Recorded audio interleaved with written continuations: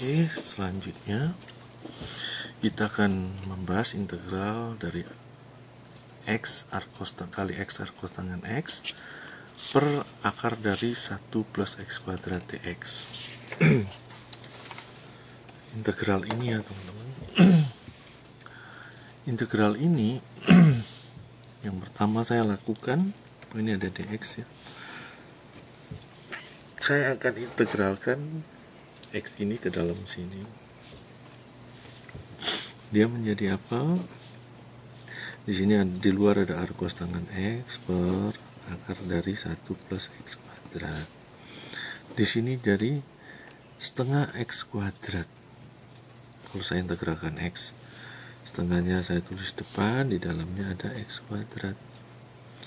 Saya tambah konstanta sembarang saya tambah satu menyesuaikan dengan ini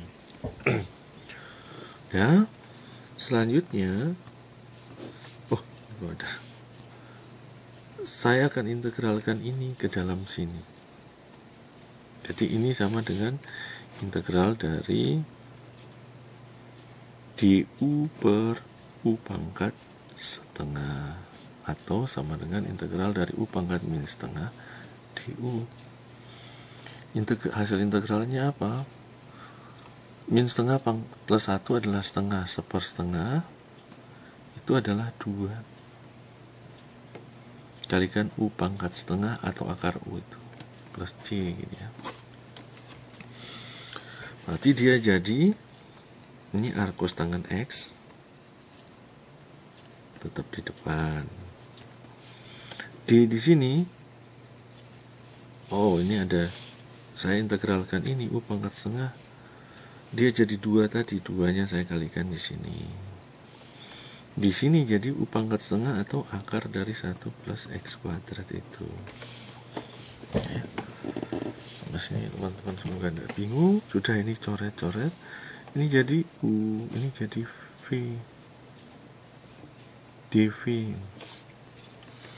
integral u dv apa?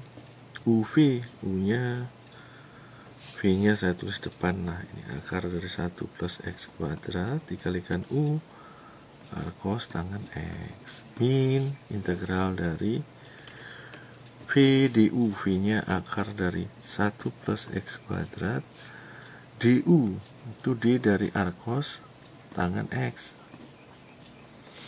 Turunan dari arkos tangan X itu apa? Turunan adalah seper 1 plus x kuadrat dx ya. Nah kalau begini gimana? Ya sudah. Ini saya buat di sini ya. Ini kan akar dari 1 plus x kuadrat per yang ini. Ini kan sama dengan akar dari 1 plus x kuadrat kalikan akar dari 1 plus x kuadrat. Kalau dikalikan akarnya kan hilang sama dengan udah saya coret satu. Berarti tinggal akarnya pindah ke bawah ini. Min integral dari dx per akar dari 1 plus x kuadrat.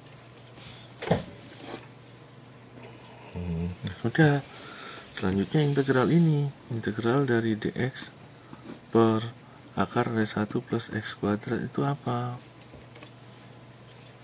Itu hasilnya ya ln dari x plus akar dari 1 plus x kuadrat plus c. Ini kalau teman-teman pakai kalau teman-teman hafal rumus ini bagus. Tapi kalau enggak ya ini kenapa dapat ini? Dilakukan dengan pemisalan x sama dengan tangan theta itu. Tapi ya enggak usah kita udah dapat ini. Berarti sama dengan apa? Ini saya tulis tetap ya akar dari 1 plus x kuadrat arkos tangan X min. Ini sudah tinggal ln dari X plus akar dari 1 plus X kuadrat plus C. Inilah jawabannya teman-teman. Sekian